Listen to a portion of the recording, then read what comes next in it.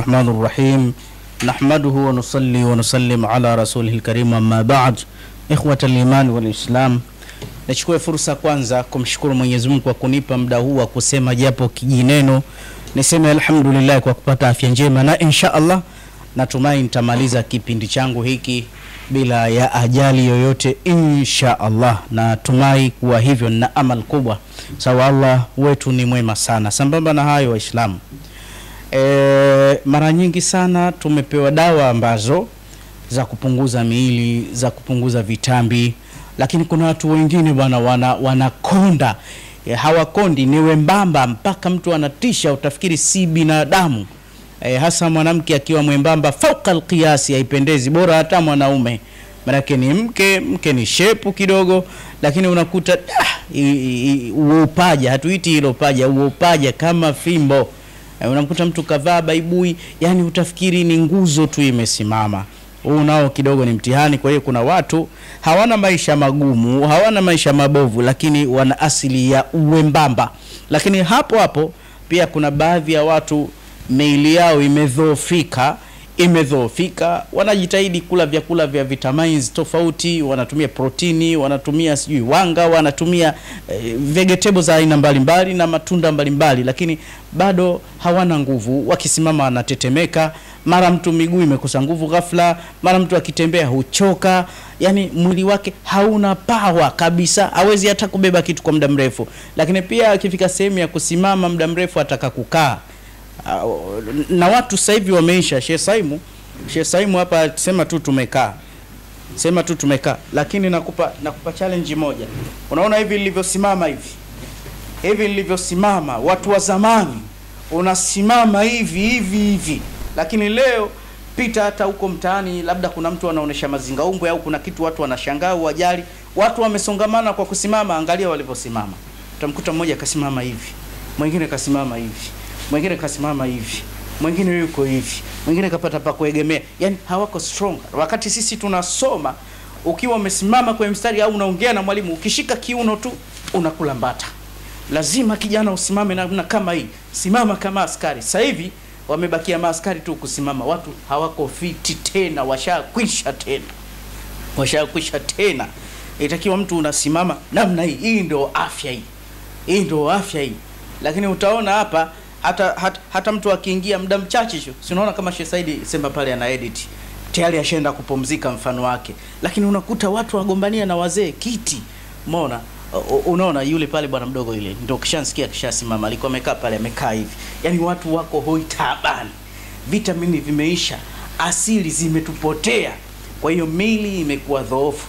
Kwa hiyo na mwili ukiwa dhoofu unakufa vitu vingi, macho yanakosa nguvu, kunusa kunaisha, ladha ya chakula, ladha ya tendo la ndoa kwa mume na mke, kwa sababu mwili hauna nguvu. Sasa haya maradhi haya, embu tutoe hizi sumu nyingi katika mwili. Kuna dawa inaitwa miahil Haya.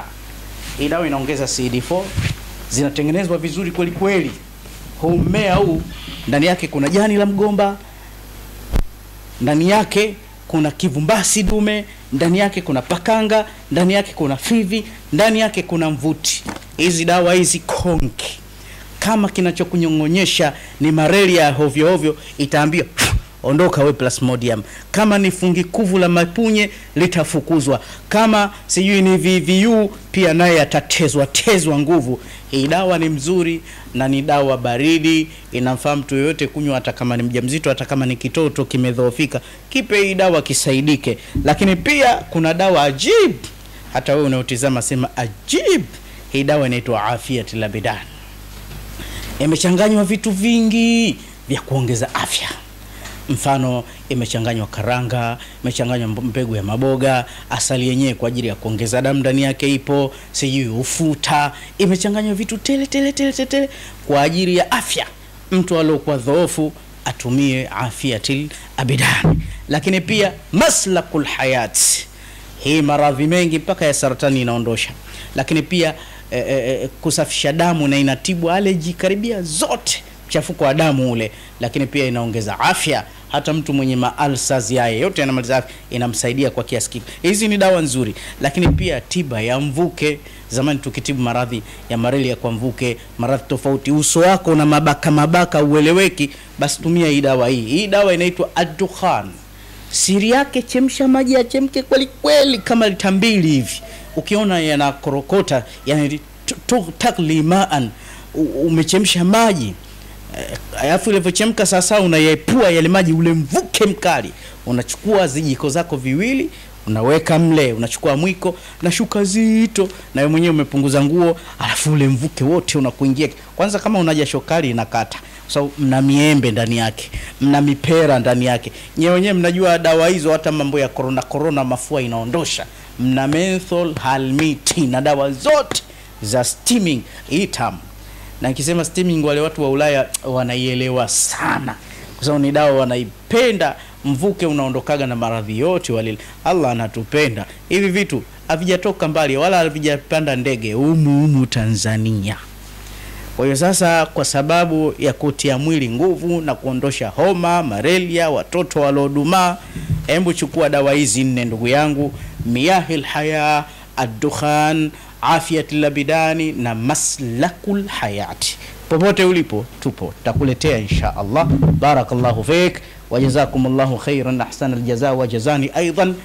Fakhudh arqamina, chukua hizi namba zetu hizi ambazo unaziona, upige simu yako na zote ziko WhatsApp, alafu tukutumie dawa popote ulipo, zitakupata na ziko na instruction yake, irshadat, hidayati, mwongozo utatumia vipi hizi dawa. Inshallah zitumie, zitakufurahisha sana. Baada ya kusema hayo, tushamaliza. Tukutane katika mawasiliano. Shukran, assalamu alaikum warahmatullahi wabarakatuh.